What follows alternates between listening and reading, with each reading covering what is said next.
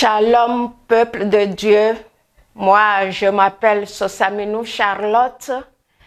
Je parle depuis l'Italie pour souhaiter un joyeux anniversaire à Daddy.